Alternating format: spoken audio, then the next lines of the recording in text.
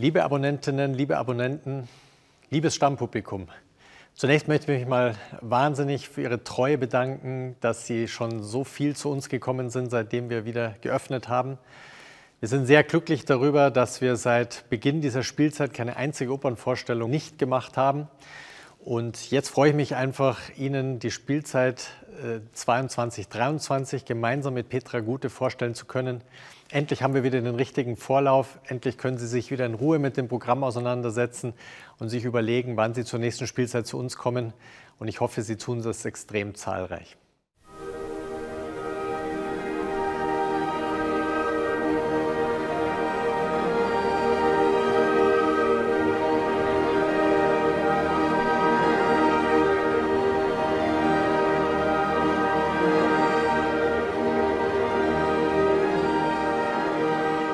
Matthias Schulz, jede Ihrer Spielzeiten steht ja unter einem bestimmten Schlagwort. In dieser Spielzeit war es schlaflos und in der kommenden wird es dann uferlos sein. Was hat es damit auf sich?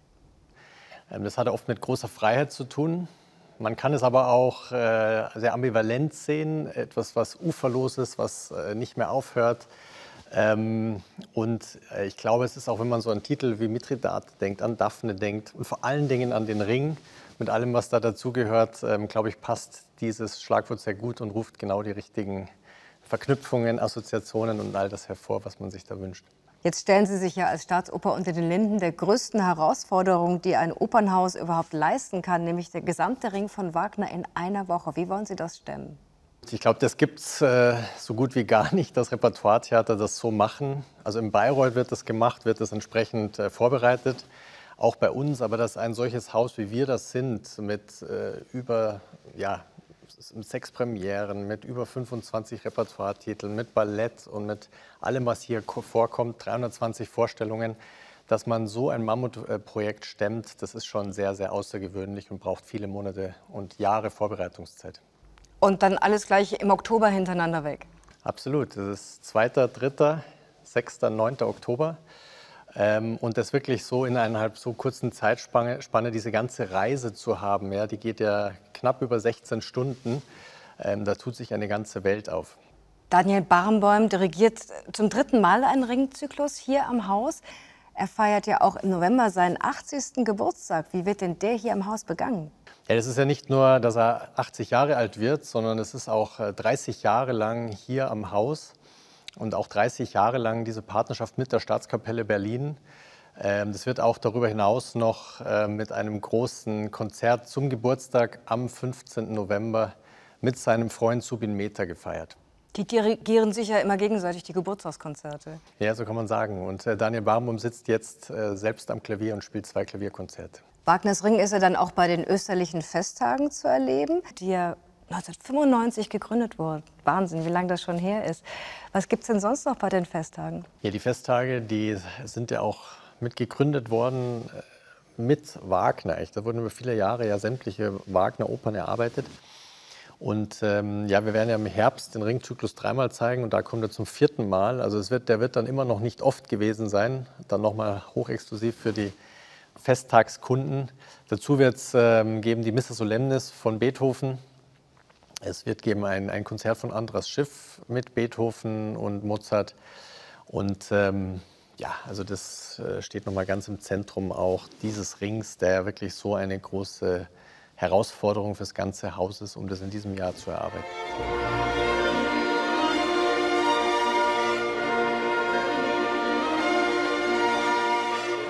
Außer Wagners Ring gibt es vier Premieren und eine Uraufführung und ich habe es kaum glauben können. Zum allerersten Mal wird eine Oper von Vivaldi hier am Haus zu erleben sein. Warum hat das so lange gedauert? Ja, das ist mir rasend wichtig bei den Barocktagen, einfach neue Stücke zu, äh, zu zeigen, Neues zu entwickeln. Ähm, wir hatten ja an den allerersten Barocktagen zum Beispiel äh, ja, Hippolyte von Jean-Philippe Rameau, ein Komponist, der in der 200, fast 280-jährigen Geschichte des Hauses nie zu hören war. Dann hatten wir Alessandro Scarlatti, wir hatten äh, Compra und jetzt eben äh, Vivaldi, ein Komponist, den man, glaube ich, in Deutschland als Konzertkomponist äh, sehr, sehr gut kennt, ähm, nicht nur durch die vier Jahreszeiten, aber er hat eben fast 100 Opern geschrieben und die beste Il Giustino wollen wir Ihnen zeigen. In der kommenden Spielzeit wird es gleich zweimal Mozart zu hören und zu sehen geben. Einmal der ganz junge Mozart, erst 14-jährig, und dann der etwas ältere Mozart mit 27. Warum gleich zweimal? Mithridates ist ein Werk, das er als 14-Jähriger geschrieben hat. Unglaublich faszinierend, tolle Musik. Mark Minkowski mit den Mystics ja die Louvre hat genau die richtige Sprache, möchte ich sagen, dafür gefunden. Und ähm, es wird Satoshi Miyagi sein, ein japanischer Regisseur, der ja so diese traditionellen Elemente des japanischen Kabuki-Theaters mit, mit westlichen äh, Opernformen da zusammenbringt. Also das äh, bin ich einfach wahnsinnig glücklich, dass das zurückkommt. Und dann haben wir Idomeneo, ist ein ähnlicher Fall, auch etwas, was schon sehr weit war im Probenprozess und jetzt gezeigt werden kann. Idomeneo ist einfach eines dieser letzten großen sieben Mozart-Opern, das da in der Staatsoper ins Repertoire gehört. Simon Rattle wird das machen mit der Staatskapelle. Ähm, es wird da David McVicker, der Regisseur, sein. Ähm, und ja, auch das einfach ein absolutes zentrales Werk ähm, und eine, eine tolle Deutung von David McVicker. Und mit tollen Sängerinnen, Magdalena Kozina, Anna Prohaska. Ja, dieses, dieser Mozart-Gesang, der ist ja so, äh, so speziell. Man muss sich so eine spielerische Leichtigkeit bewahren und da solche Sängerinnen zu haben, die das so fantastisch machen, da, das ist natürlich dann immer ein Fest für sich. Idomeneo ist ja ein, ein Thema aus der griechischen Mythologie und bei dir bleiben wir dann auch gleich mit äh, einer von Richard Strauss späten Opern, Daphne. Warum Daphne? Daphne ähm, ist ein Werk mit allergrößter Symbolkraft. Ähm, und ein Regisseur, der mit Symbolen wirklich umgehen kann und der das bewiesen hat, ist Romeo Castellucci. Ich freue mich sehr, dass der nach äh, Il Primo Omicido, was er hier schon zu den Barocktagen gezeigt hat, zurückkommen wird. Ähm, wir werden Thomas Kuckeister erleben als äh, Dirigenten, als Strauß-Dirigenten wieder, der damals bei der Salome so fulminant eingesprungen ist und seitdem das bis zum Staatskapellmeister hier bei uns gebracht hat. Wir werden Vera Lotte Böker als, als Daphne erleben, auch jemand, der, der in diesem Werk debütiert, aber ich glaube, ähm, da ein sehr toller Typus, auch ein sehr toller Sängertypus für diese Rolle ist. Und ähm, ja, Daphne ist, glaube ich, auch eines dieser Werke von Strauss, die es sich wirklich zu entdecken lohnte. Vier Premieren, eine Uraufführung und dann im Mai die letzte Premiere der kommenden Spielzeit, Die schöne Müllerin von Franz Schubert mit Puppenspiel und mit einer Musikbanda Franui aus Osttirol. Ich glaube, da wird das Wandern, ist das Müllers Lust wahrscheinlich ganz anders klingen, als wir sonst gewohnt sind, oder? Die Art und Weise, wie Sie gerade mit Schubert umgehen, das haben Sie auch bewiesen, wie toll Sie das machen, mit welcher Intelligenz, mit, welchem, mit welcher Farbenvielfalt. Äh, und äh, sie sich an so ein zentrales Werk wie Der schöne Müllerin von Schubert wagen, das ist, glaube ich, wie aufgelegt. Nikolaus Habjan hatten wir hier als Pfeifer, als Kunstpfeifer in einem Konzert. Das wird er auch bei, bei der schöne Müllerin zeigen. Er ist aber auch ein großer Puppenkünstler. Er ist ja auch Regisseur, wird diesen Abend in Szene setzen. Dazu Florian Bösch, äh, der diese Werke immer so in ganz besonderer Weise durchdringt.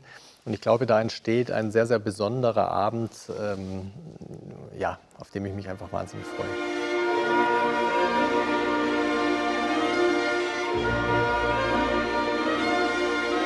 Und die schöne Müllerin ist zwar hier im Großen Haus, aber auch Teil von Linden 21, wo sie besonders experimentelle, aufregende, spannende Sachen machen. Auf was können wir uns denn da noch freuen? Wir zeigen da die Kubaner von Henze zum 10. Todestag von Henze. Ähm, es ist eine Fernsehoper, wie sie überschrieben ist, ähm, die in eine Kammerverfassung überführt wurde und äh, damit geht's los. Dann haben wir einen großen Janacek-Abend mit Jürgen Flimm. Ähm, da wird viel Kammermusik von Janacek zu erleben sein, aber auch Martina Gedek äh, und andere Schauspielerinnen und Sängerinnen. Also so ein ganz äh, komponierter Abend, ja, etwas, was, was Jürgen Flimm ja schon oft sehr erfolgreich gemacht hat. Und dann haben wir Thomas, ein äh, Werk von Georg Friedrich Haas, ein faszinierender Komponist, der gerade äh, diese Balletturaufführung gemacht hat hier im großen Saal, Symphonie XX. Und äh, bei diesem Werk, ist ein sehr heftiges Werk, muss man sagen, geht es um eine Liebesgeschichte, die aber auch mit dem Tabuthema Tod ähm, sehr intensiv umgeht. Und die Regisseurin dieses Werks wird Barbara Horokova sein.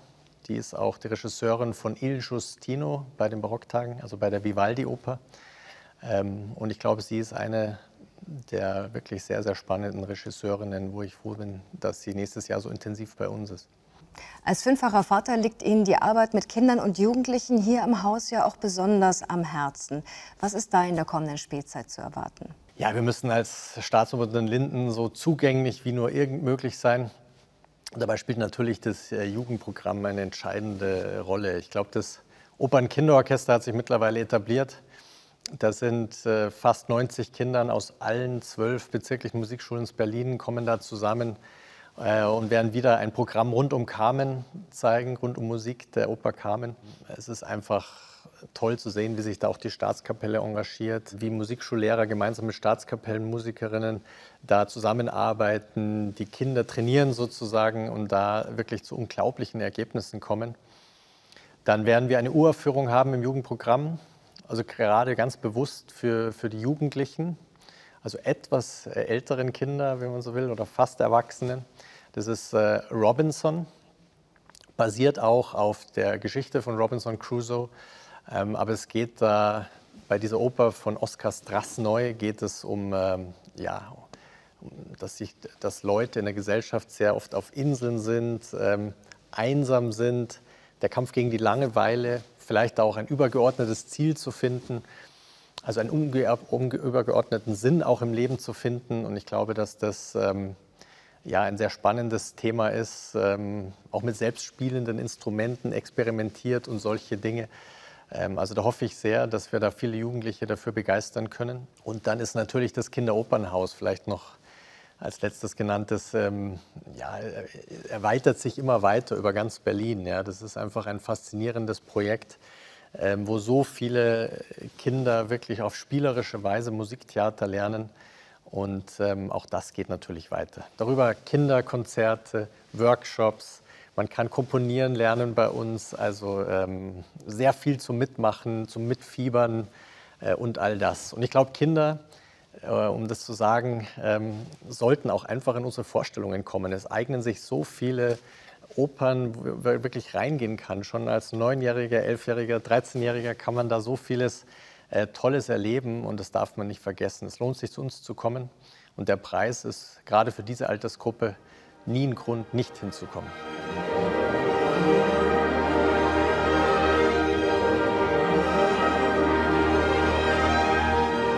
Und die Barocktage sind ja quasi ihr ganz persönliches Baby und auch die werden jetzt schon fünf Jahre alt. Wir haben über ein paar Dinge ja schon gesprochen. Auf was freuen Sie sich am meisten? Es ist dann auch immer eine tolle Möglichkeit für unsere wunderbare Staatskapelle gleichzeitig auf Reisen zu gehen und eine wirklich ausgedehnte lange Reise zu machen. Ähm, und ähm, deswegen ist es diese Zeit immer sehr spannend, weil auf zwei Ebenen so wahnsinnig viel passiert. Bei den ähm, Barocktagen, ja, es ist äh, mal neben den beiden Premieren, die wir genannt haben, Il Giustino von Vivaldi und Mithridate von Mozart, haben wir noch die Popea als Wiederaufnahme. Das war eine tolle Inszenierung von Eva Maria Höckmeier mit dieser unglaublich unendlichen goldenen Wand, die so eine Sogwirkung ausübt und wo ja all die Akteure immer auf der Bühne sind und wie im Schach bewegt werden. Das ist äh, sehr faszinierend. Äh, und da wird ähm, ja, Herr Spinozzi zum ersten Mal hier bei uns dirigieren, äh, ein unglaubliches Energiebündel, äh, was, glaube ich, toll ist. Und wir erleben dort ja von dem Musicien du Louvre, Akamus, also auch hier das äh, Freiburger Barockorchester. Also das sind, bei uns erlebt man da immer die unterschiedlichsten Herangehensweise an diese Musik. Wir haben darüber hinaus Konzerte hier im Apollo-Saal, im Boulez-Saal, ähm, die nochmal so sehr stark um Vivaldi, die Musik Vivaldis präsentieren, auch viel Mozart, vielen frühen Mozart zeigen. Also ich glaube, man kann da sehr viele Querverbindungen äh, entdecken, man kann sich treiben lassen äh, und ich hoffe, dass wieder viele zu unseren Barocktagen kommen. Die Staatskapelle geht auf Reisen, haben Sie gerade gesagt. Wo geht es denn hin? Es war wirklich gedacht, auch mal wieder nach China, nach Japan, nach Südkorea zu gehen. Ähm, ob das alles so stattfinden kann, muss ich jetzt ehrlich aus jetziger Sicht sagen, wissen wir nicht. Ähm, wir wollen aber einen möglichst großen Teil dieser Asien-Tournee doch behalten, wollen aber auch Konzerte dann in Europa machen, falls es dort nicht geht. Äh, und daran arbeiten wir. Es wird auf jeden Fall irgendwas Substanzielles mit der Staatskapelle passieren.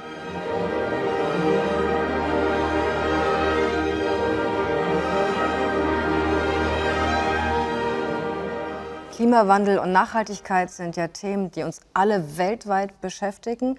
Die Staatsoper unter den Linden arbeitet schon lange mit dem Thema Klima und es gibt auch in der kommenden Spielzeit ein Klimakonzert. Wie wird das aussehen? Also die Staatskapelle, muss man sagen, macht schon sehr lange ähm, so Klimaaktivitäten. Ja, es gibt ein Orchester des Wandels, das sich daraus gebildet hat.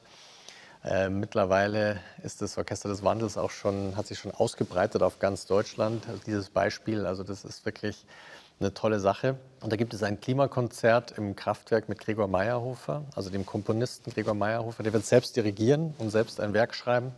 Und zwar auf diese ja, Klimakarte eigentlich des Papstes, wenn ich die mal so nennen darf, äh, Laudato Si. Das wird so ein, glaube ich, wirklich tolles äh, Ereignis. Und dann haben wir auch hier im Apollo-Saal so eine Veranstaltung, der ist Sustainable Listening. Und da geht es eigentlich darum, vor allen Dingen bewusst zu machen, zu sensibilisieren, ähm, tolle Redner einzuladen, aber auch mit den Gebrüder Teichtmann und mit der Staatskapelle zusammen auch Musik nochmal in anderer Form zu zeigen, zu experimentieren mit Elektronik und dem Klang der Staatskapelle. Ähm, und da soll aber auch diskutiert werden, da wird sich ausgetauscht. Da versuchen wir auch viele Partner für die Staatsoper gewinnen, die uns dann in anderer Weise dann helfen können, da ein äh, klimafreundliches Haus zu werden auf verschiedensten Ebenen. Über ein besonderes Konzert der Staatskapelle haben wir schon gesprochen. Das ist der große Geburtstagsabend zum 80. Geburtstag für Daniel Barenboim. Suvi Meta wird dirigieren. Welche Konzerte sind noch Highlights in dieser kommenden Spielzeit? Ja, wir haben wieder acht große ähm, Abonnementkonzerte. Ähm, da steht vor allem russisches Repertoire sehr im Zentrum. Also wir haben Schostakowitsch, Prokofjew, ähm, Rachmaninov, der einen großen Geburtstag in 2023 feiern würde. Und ähm, ja, es ist auch toll, dass es viele, ich glaube, Dirigentennamen gibt, die man hier vielleicht so noch nicht gesehen hat. Das ist Gustavo Jimeno, das ist Christian Makelaro, das ist ähm, Tugan Sochiev. Ähm, es ist aber dann auch am Schluss, es gibt noch ein Sommerkonzert, es ist auch Edward Gardner, auch ähm, ein, ein Dirigent aus Großbritannien, der wirklich äh, sehr viel Furore macht, ein toller Künstler ist. Wir haben aber auch Solisten wie Diana Dambrau, wie Cecilia Bartoli, wie Martin Grubinger, wie Nikolaus Altstedt. Dann gibt es aber auch ein Schlagwerkkonzert von Peter Edwisch, ähm, wieder aus dem Zeitgenössischen. Es gibt aber auch die Partitik von Tchaikovsky, die wirklich sehr zentral ist. Dann wiederum die Alpensymphonie. Also ich glaube, man kann in jedem in jedem Konzert irgendwie etwas sehr, sehr Besonderes erleben und gleichzeitig etwas entdecken. Das Opernrepertoire spannt quasi den gesamten Bogen von Frühbarock bis in die Gegenwart. Es gibt auch wieder Aufnahmen, zum Beispiel von Sleepless von Peter Oetwisch, die Uraufführung mit der tollen Victoria Randem. Auf was können wir uns sonst noch freuen? Also, dass Sleepless äh, wiederkommt, das äh, ja, das ist besonders wichtig. Es haben, glaube ich, so viele mitbekommen, dass da etwas so Tolles, etwas Besonderes entsteht. Auch mit Cornel Mondruschko, mit seiner Regie, mit diesem riesen Fisch. Das Bühnenbild ist nochmal ein eigener Star geworden bei dieser Inszenierung. Und es haben so viele gesagt, wann kann ich das wiedersehen oder, oder ich habe es noch nicht sehen können und so weiter. Und ähm, das musste einfach wieder kommen. Ähm, gleichzeitig erleben wir aber ja, also diese ganze Bandbreite von zum Beispiel dieser Janacek-Oper. Wir haben Jennifer und Makropolis erlebt. Ähm, in den letzten beiden Spielzeiten. Aufgrund der Pandemie konnten wir das ähm, oft nicht vor so viel Publikum zeigen, wie wir wollten, oder sogar überhaupt nur im Fernsehen, wie im Fall von Jenufer. Und dass man äh, diese Oper nochmal da in einer Spielzeit zusammen erleben kann, ist, glaube ich, sehr wichtig. Meine, wir haben aber auch sonst äh, von Popier, Elisir bis Turandot äh, Verdi, Wagner, Strauss, Mozart äh, und dann aber auch ähm, besondere Titel wie Medea von Cherubini und so weiter. Also Sie merken, es ist da die ganze Bandbreite und man kann wirklich in jeder Woche etwas Tolles erleben.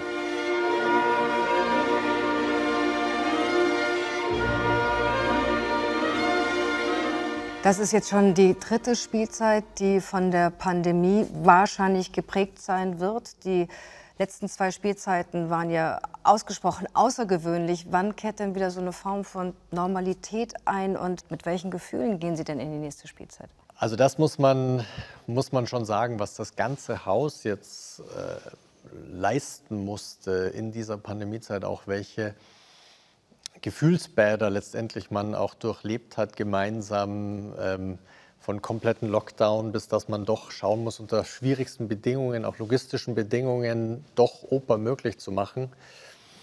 Also das war schon sehr, sehr außergewöhnlich und ich glaube, wir können mit großem Stolz äh, sagen, dass wir ähm, seit Herbst jetzt keine einzige Opernvorstellung haben ausfallen lassen müssen.